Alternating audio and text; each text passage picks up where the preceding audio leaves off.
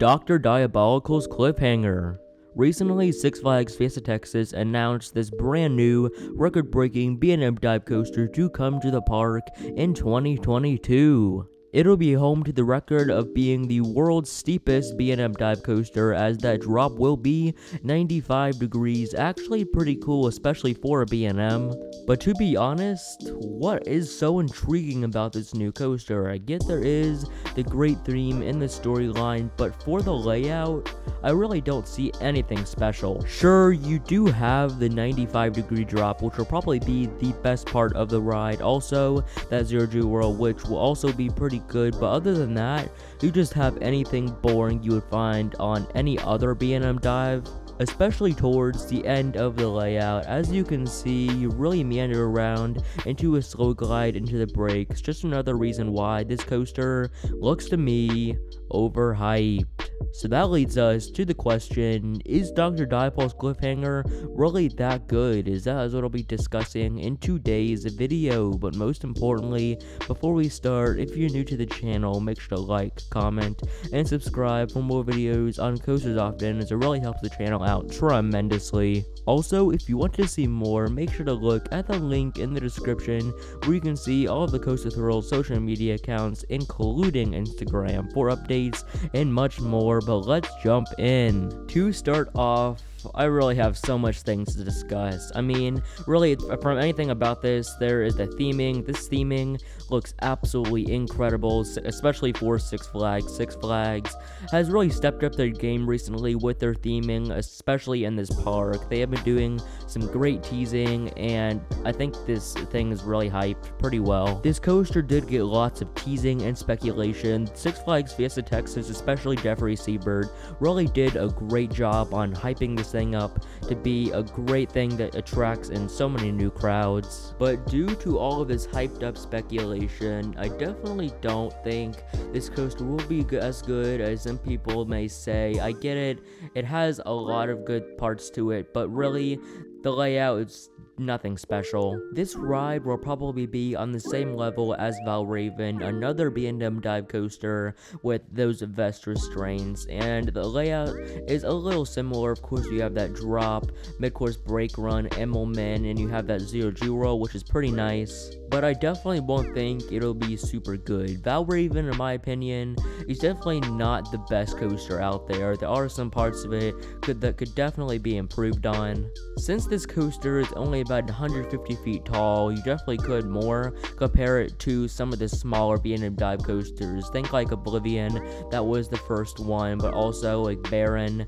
Those things are pretty good, even though they're the smaller ones. Six Flags really did have more of a smaller budget for this thing because it is their first B&M in 10 years like I said. It really they didn't want to really want to go all out especially since they may even clone this thing. Cloning this thing I think would probably be a good business decision by Six Flags but for us coaster enthusiasts I don't think it would be the best. I mean in my opinion it probably would be the best if it just stays at Six Flags Fiesta Texas. One of the main complaints with this thing is just why is it called Dr. Diabolical's Cliffhanger while you have a cliff right at the park but it doesn't go off the cliff? That really doesn't make that much sense unless they are doing this one thing that that could be cloning it. Really, the two reasons that they wouldn't put it off the cliff is number one, it's just really expensive, especially to uh, do work up there. I think it would be way more out of Six Flags budget, and especially since Number two, they might clone this thing, so you definitely can't clone a coaster that goes off a quarry wall. Some people may say it's a missed opportunity, but in my opinion, I think it's just fine.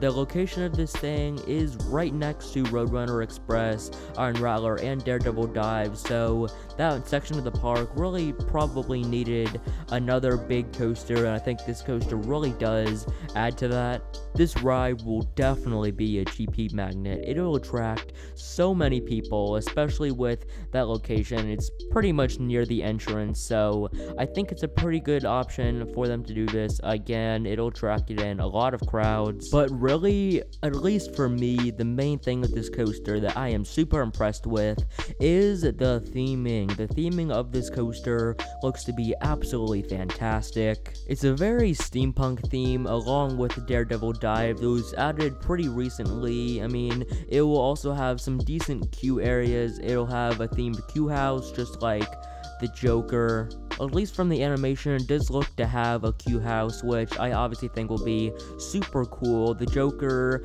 their flat ride, and the other side of the park has it, and I went through it, and it's also definitely pretty cool. It would be really nice if this could interact with the guests and have just exemplified that theme that they're going with.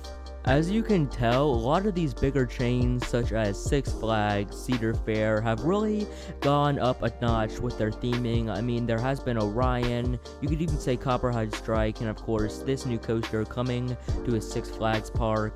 Though it may not be Disney theming, this park I think is doing a great job, especially for being an amusement park. At the theme, it definitely also has a good storyline. The storyline was definitely intertwined with all the hype it got. I'm definitely not to go too into depth on the theming, but it's basically an evil doctor about to fulfill her evil plan to frighten the world, which it'll take up all humans, I guess, and the machine that they'll be using is called Dr. Diabolical's Cliffhanger, which obviously is the name of the coaster. Speaking of the name, I get that some people obviously will not be too hyped about the coaster not diving over the cliff, with especially the name Cliffhanger, but I definitely do like it. It's a pretty cool name especially with the theming that goes behind it. I love the character of Dr. Diabolical. I think she'll play a great role in the queue and all the theming of this coaster. I definitely think it'll just be super cool overall. It'll be a very steampunk theme, especially with the other ride down there being a Daredevil Dive, which I think both of them will play a pretty good uh, role in doing some good theming. I mean, Daredevil Dive, from what I've seen, looks absolutely fantastic. A great flat ride, and I think this coaster will play with it pretty nice. This coaster, overall, just from the pathway, will look absolutely fantastic. The color scheme also looks really good, especially with that track, that great B&M track.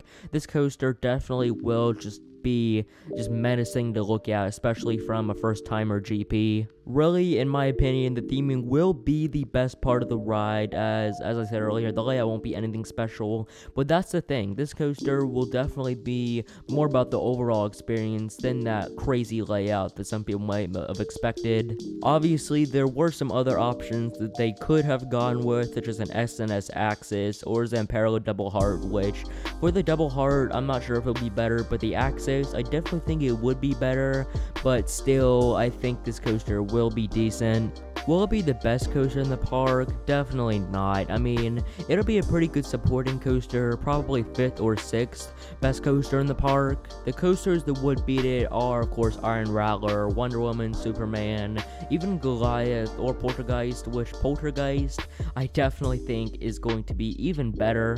I'm not going to go too in depth, but Poltergeist is, of course, getting that whole new retheme. Poltergeist, I already thought was a pretty good ride, but now with a whole new retheme and new paint job, I think it'll be super cool.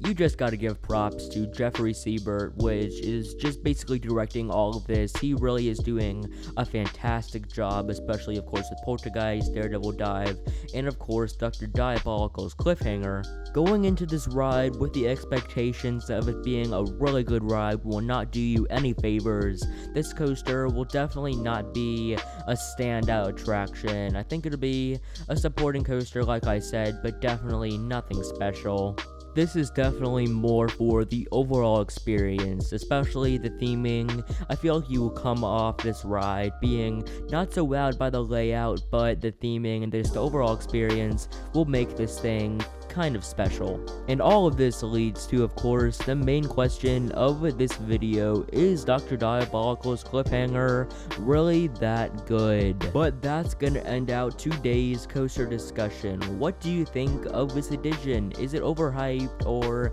not? Definitely make sure to post that in the comments below. I read every comment absolutely love what you guys have to say. And of course, if you're not already, make sure to like, comment, and subscribe for more videos on coasters often.